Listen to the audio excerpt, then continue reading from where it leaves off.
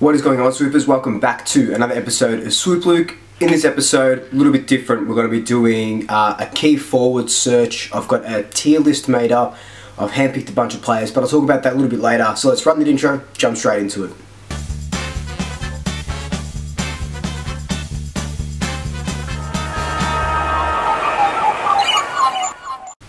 just before we do jump straight into it, I keep saying to follow me on Twitch, I keep saying to follow me on Instagram, Twitter, and TikTok. Keep doing all those things. It's always Swoop Luke.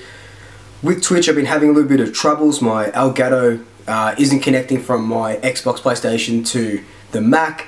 I was supposed to be streaming the new Marvel game. Um, I'm going to try and get that working because I really do enjoy streaming and I really do enjoy you guys tuning in and stuff like that and having a chat with you. So I'm going to, I've got a day off today, so hopefully I'm going to nut that down and, and see what the hell's going on so we can get started streaming. To be doing Rock Band. I'm going to be doing a little bit of FIFA. Marvel, you know, I'm a quarter of the way through, but we'll still do it. Marvel, the new Crash Bandicoot. It's going to be nuts when I can get it working, but let's just jump into this tier review. So, we all know that Collingwood need a key forward. We've been saying it for years and years and years. We haven't had a big key forward since Travis Cloke that could command that sort of forward line. Um, Sure, it nearly worked off uh, in 2018, nearly coming out with a premiership with Cox as the mainstayer. But I think you know Cox is getting a little bit older, and he, he's not that he is that focal point because our game plan relies heavily on him.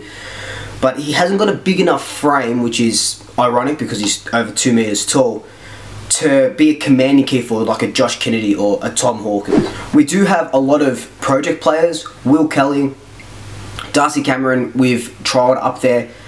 Well, when I say a lot, that's pretty much it. Will Kelly we're going to be banking on for the next, you know, 10, 11, 12 years. We saw what he could do against the Hawks. If he didn't have that injury, he'd, he'd be, I wouldn't have to be making this video really because he'd be one of those players where we could rely heavily on in the coming years. Yes, he has put a little bit more muscle on in the gym and stuff like that, but he could be that big bustling forward that we're after. He's very young, and we know key forwards take years to, um, you know, to bloom. So what I've done with this tier list, I've handpicked 12 players who are restricted free agents, unrestricted free agents, or just out of contract, or have no contract. A hint to who I've picked.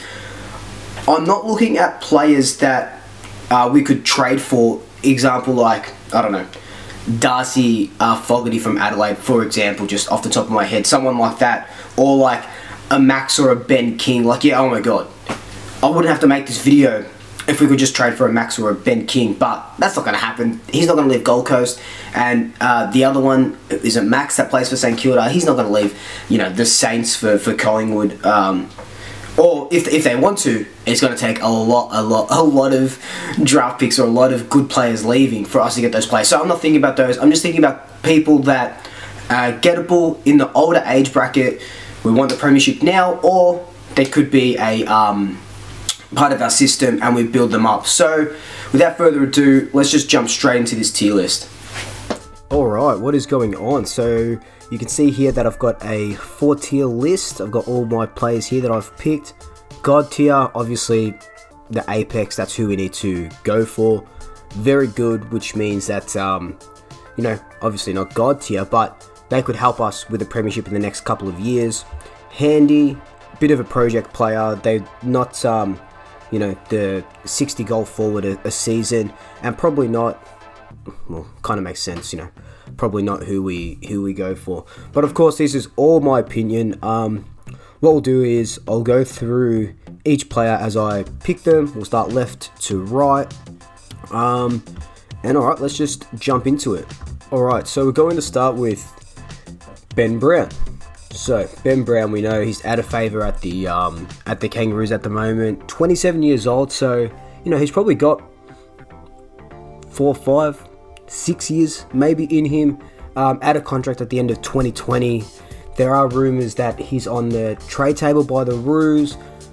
Would be a very good player. God tier, uh, you know, he's kicked 200 goals in nearly four seasons, so he could be God tier. He could be very good.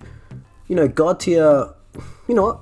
I reckon we're going to put um, Benny Brown in, in God tier just because he's a big guy. Yes, he's had a bad 2020, but you know, with the delivery that the Kangaroos are giving him, he's not. Um, he can't set the world on fire. So we're going to put Ben Brown in um, God tier because you know he's 60 goals a season in the last four seasons is ridiculous. Well, not this season, but you know 2017 to 2019 is ridiculous. All right, next player we got Jeremy Cameron. Bang! I'm not even going to question where he's going. Restricted free agent at the end of 2020, nearly 200 goals as well in four seasons, and he's only 27 years old as well. So, like Ben Brown, he's got you know six, seven years um, left in him. The thing with Jeremy Cameron is, I remember before he signed that, I think it was a five-year deal with the Giants. Um, obviously, five years ago, uh, we were really into him. Like, I'm pretty sure he. I know he's from Victoria. I think he was a Collingwood supporter. Um, but but either way, um, we won't have to sell the house for him. You know, we don't have to trade away for him or anything like that. Restrict the free agent. So anything that we ask him. So if we say we'll give you 1.1 mil a season, the Giants say, uh, yeah, we'll match that and, and beat it or, or something like that. Um, to get Jeremy Cameron, we're going to have to, you know, get rid of a lot of numbers in our in our list. Um, a lot of players on some big money that shouldn't be there anymore. But this is not a video for that. That is, that's a video for off season and talking about delistings and, and stuff like that. Um, but yeah, God tier, Jeremy Cameron, win 100%. That's who we go for. But you know, if he signs for the Giants, let's keep going. Josh Kennedy. So, Josh Kennedy's unrestricted free agent at the end of 2020 obviously came from Carlton, West Coast. West Coast won the 2018 Premiership because of um, Josh Kennedy, pretty much, um, or just just because they had a big, just because they had a big key forward. So, Josh, what the hell? Josh Kennedy, we're gonna put very good, only because he's 33 um, years old, but he also has kicked nearly 200 goals in four seasons. This season, he hasn't um, like he hasn't slowed down. He keeps going. Uh, and unrestricted free agent, you can have a free hit at him. If you say two years, you know, he ends his contract at uh, 35, but you can get one or two good years out of him. He's really accurate. Uh, we know that.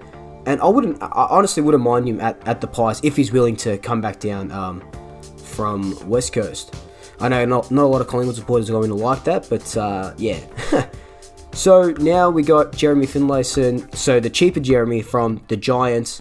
Um, you know, he hasn't, he's just really burst onto the scene, but he's kicked nearly 70 goals in the last uh, two seasons. And if you watched the game the other day against the Crows, he pretty much single handedly nearly kept the Giants in it. And he's only 24 years old. So I want to put him here as I'm going to put him as handy only because I don't think at 24 we can't really base a premiership around him. He's still a little bit of a project player because at the Giants he has Himmelberg and Jeremy Cameron to help him out with um, you know not, not getting the best defender or anything. But if he comes to the Pies, he is going to have to be that full forward, that key full forward, um, and you know, he's going to command the best defender and stuff like that. So he'd be a bit, little bit of a project player, but I wouldn't say no to him. You know, Collingwood supporters don't want him because he absolutely tears us a new one whenever he plays us. I won't forgive him for that push against Grundy in the prelim last year, but I honestly wouldn't mind seeing him. Jesse. Jesse Ho-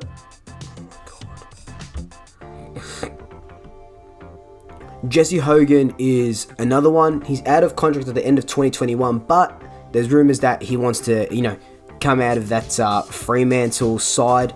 You know, they were paying him, I think, $700,000 a year, according to reports. Um, but there's whispers that he wants out. When he was playing for Melbourne, he was kicking 40 goals a season for the four years that he was at Melbourne. Look, he's only 25 years old. He's a big boy. Um, and you know a, a, key forward that can give you 40, 40 plus goals 45 plus goals a season is worth looking at i don't think we will be paying him 700000 you know I'll, he'd be lucky to get 450 500 um, in a collingwood side but 25 years old he's still got you know let's just say eight years left in him and i honestly wouldn't mind him but again handy we're going to put him as handy because um, he's just, you know, he's not that big 60 goal forward at the moment. But we know he has had a bit of troubles with mental health issues, and you know, it, it sucks. Like it really sucks, and that's what's really kept him uh, back these last couple of years, and also a couple of injuries. So if he can get his body right, which it looks like he has at the moment, um, I wouldn't mind him in the Collingwood side. So we're going to put him as handy. All right. So the next one we've got is Cam McCarthy had his contract terminated uh, mutually at Fremantle. He wants to play on. He came out in podcast said that he wants to play for uh, the Pies. He's been kicking when he was at the Giants and stuff like that. You know, 30 goals a season, but um, you know, he left the Giants because he was homesick, so he went to Freo, and now he doesn't want to be at the Hubs. Um, so it's a little bit iffy. He's only 25, but we're going to say probably not. Um, I don't think he fits the Collingwood, not the culture, just the Collingwood bill, um, and you're not going to base a premiership um, around him. Alright, so the next guy we got is Peter Wright at the Gold Coast Suns. So with Peter Wright, two meter Peter. From all reports, we were very into him at the at the draft uh, of his year. We didn't go for him. He's only kicked 85 goals since 2015, um, but he hasn't been playing regularly these last couple of seasons. He's out of favour. You know, you got the King brother up there, um, and Jarrod Witts keeping him out of the ruck. The thing with Peter Wright is he can play ruck as well, so you wouldn't need Darcy Cameron or Mason Cox in there. Um, but again, you don't want your key forward to be taking ruck duties. You want him to, you know, just stay as your key forward. 24, project player. Look, I'm going to put him as probably not. Uh, we'd have to trade for him as well because he's a restricted free agent in two years. Um, so probably not. You know, these guys that I put in probably not is if we had to pick one of them, we could pick one of them. But um, yeah, just just probably not. The next guy, Joe Daniher. So he's a restricted free agent at 2020. Obviously, we know he tried to get to Sydney last year. Essendon were asking too much, but now he can pretty much leave for free. The thing with Joe is he's under lots of um, injury clouds and stuff like that, with his groin and stuff like that. Um, but God, when he's on, he's on. You could base a premiership um, around him. Between 2014 and 2017, he kicked 170 goals, and he's he's in his mid 20s if he can get his body right, he could be very good. Like I said, we don't have to trade for him. Um, Essendon will get a pick for him if he wants to leave Essendon, of course. think a change of scenery would help him out a lot. God, imagine him in black and white. Bet you know, uh, one of Grundy's good mates, so that could be very nice.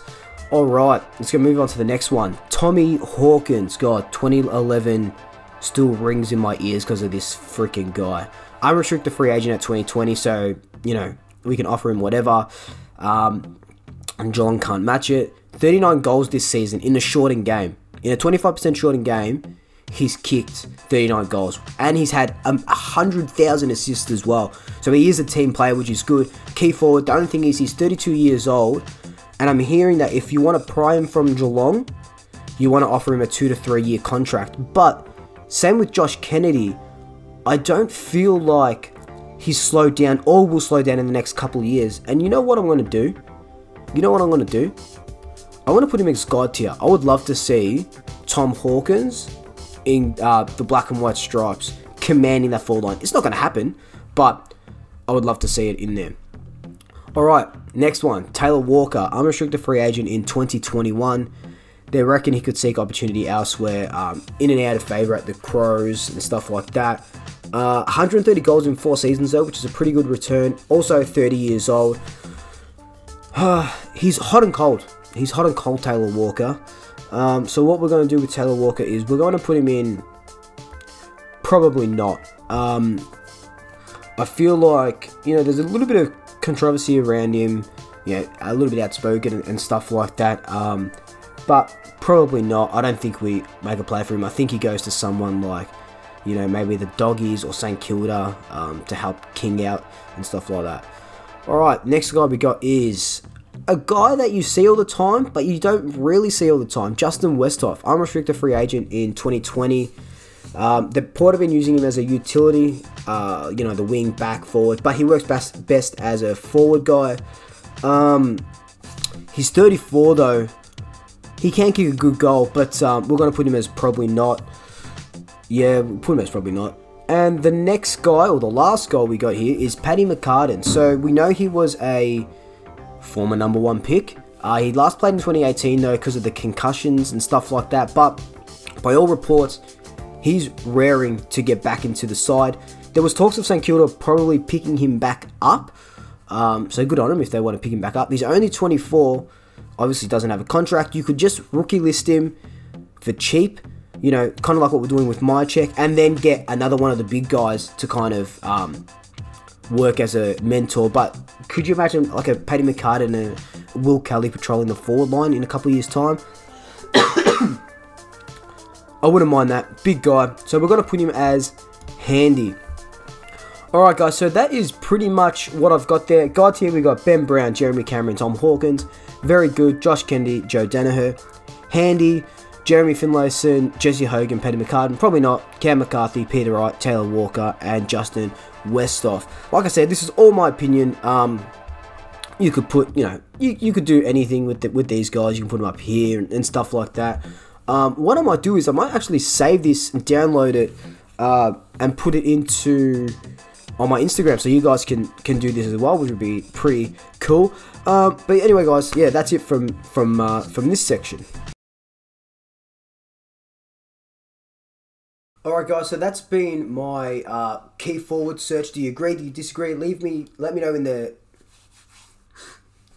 Alright guys, so that's been my key forward search. Do you agree? Do you disagree? Let me know in the comment section below. We definitely, definitely, definitely need a key forward. One of those 12 guys will work out. Um, but, you know, anyway, just let me know. Just let me know. Uh, I really enjoy it. And like I said, I'll put it on Instagram, at SwoopLuke. Check it out. And uh, you can do your own tier list. But until then, like, comment, subscribe, tell your family, tell your friends, tell your pets. And until next time, double shackers. I'll swoop you later. Ooh la la.